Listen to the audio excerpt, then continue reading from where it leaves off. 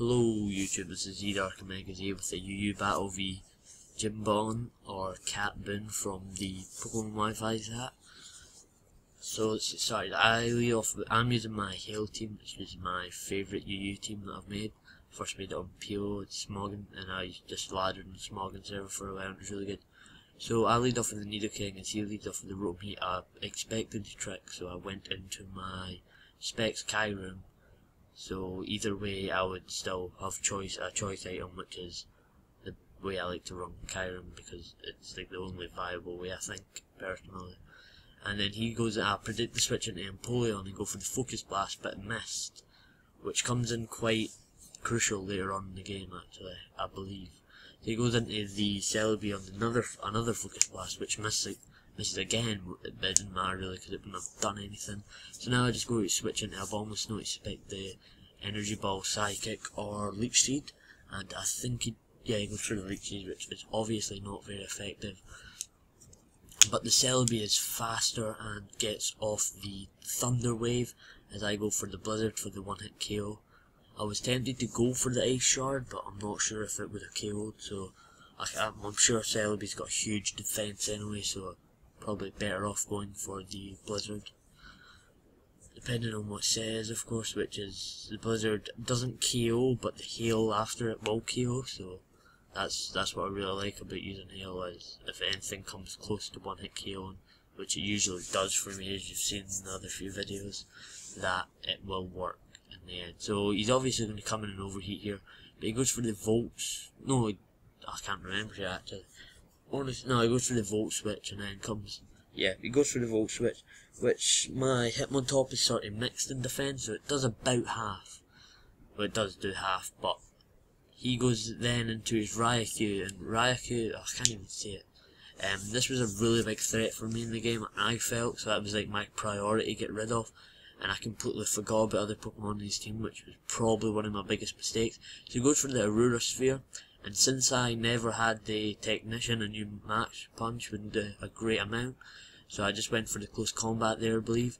And now I am going to bring in Kyurem again because I think he's got some sort of choice item.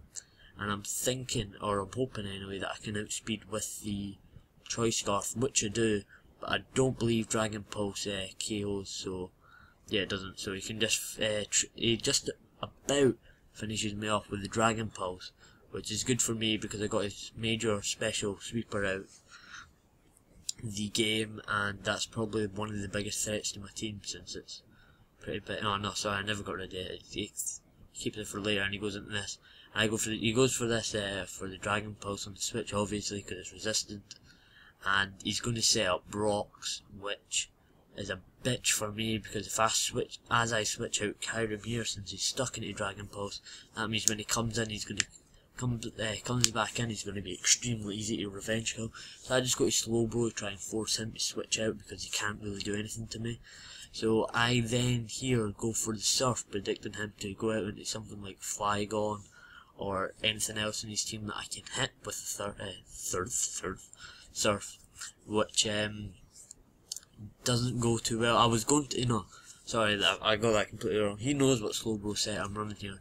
So I went for the surf, predicting him to switch into a, a ground type, or anything that could take a T-wave, which is what the set has. So instead he running Skull. So he, I end up getting roared back into Kyurem, and as you can see here, he just lives. And I go for the Focus Blast, which you can see now, I believe, almost KOs which is a really big point in the game because if the focus blast, the first one had hit, then I probably could have killed it off with hail damage and that surf may have helped and then and then that focus blast would definitely killed but he might not have even brought uh, brought it in if it was on minimum damage and uh, on low HP and just kept it for fodder. So I thought he'd switch out here predicting the earthquake and go into Rotom Heat uh, since it has the levitate and I did open. I'm Yes, I did sort of overpredict here, as I just go for the Stealth Rocks as he goes for another Roar just to get damage off of my team.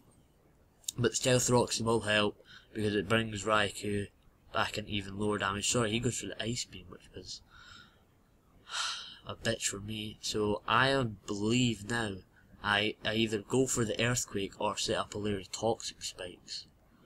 I'm really, I've just got a mind blank right now anyway. Sorry, I'm a, my nose is a bit stuffed up, so I'm speaking sort of funny. Well, to me it sounds a bit funny.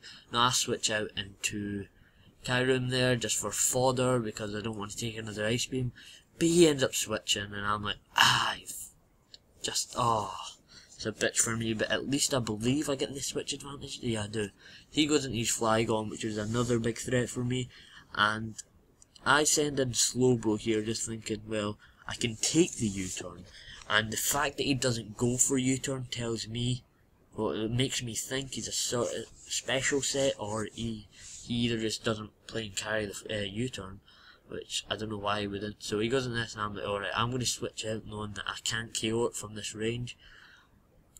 So I go into Nidoking as he goes for the roar, I believe, or he tries to do something, I don't know. No, sorry, I, no, what am I saying? I predicted his switch into that, that's why I went into Needle Nidoking.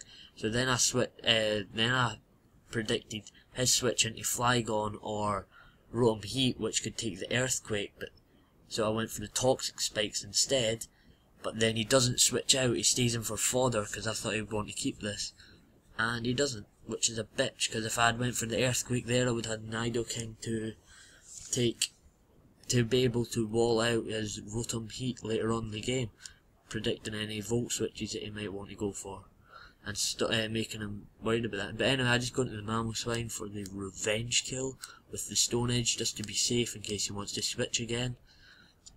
And thankfully that does kill, because if that never, I would have been very frustrated, and just pissed off completely. So now he goes into his Rotom, and I'm like, well, he might think I'm going to go straight into Slowbro, even though Slowbro's a defense wall, but no, he doesn't. No, just, I played, I, at the start I was playing quite well, until now. Now is just, at the end of the game I just fell apart completely, and my predictions were just retarded. So I probably should have just switched out then there into Slowbro, just to be safe, but obviously I never, and it cost, it, this cost me the game, this part here.